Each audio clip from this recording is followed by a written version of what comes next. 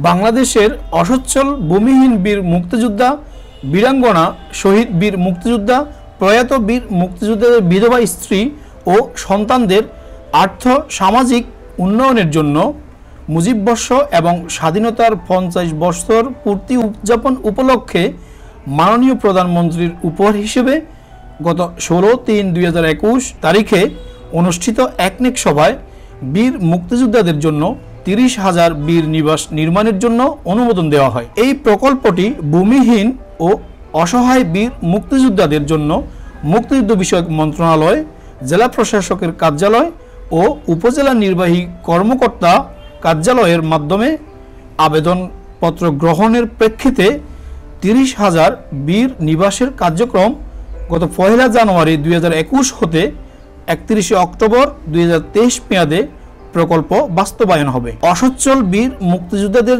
তিরিশ হাজার বীর নিবাস বাবদ মোট প্রাক্কলিত ব্যয় হবে চার হাজার একশত বাইশ কোটি আটানব্বই লক্ষ চুরাশি হাজার টাকা।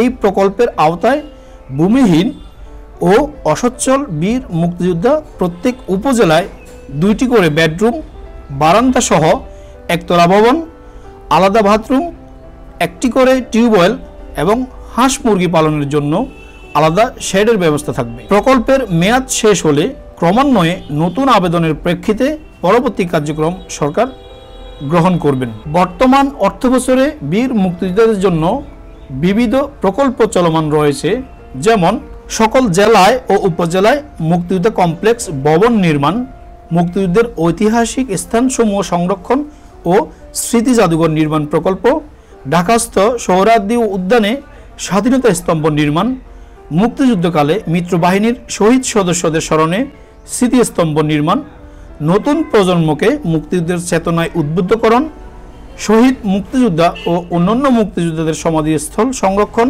ও উন্নয়ন এবং উনিশশো একাত্তরে মহান মুক্তিযুদ্ধ চলাকালে পাকিস্তানি হানাদার বাহিনী কর্তৃক গণহত্যার জন্য ব্যবহৃত বৌদ্ধভূমি সমূহ সংরক্ষণ ও স্মৃতি নির্মাণ প্রকল্প চলমান রয়েছে। প্রিয় দর্শক এই ছিল বীর মুক্তিযোদ্ধাদের জন্য বীর নিবাসের এবং অন্যান্য চলমান প্রকল্পের আপডেট খবর মুক্তিযুদ্ধ সম্পর্কিত সকল আপডেট তথ্য পেতে চোখ রাখুন মুক্তিবার্তা চ্যানেলে।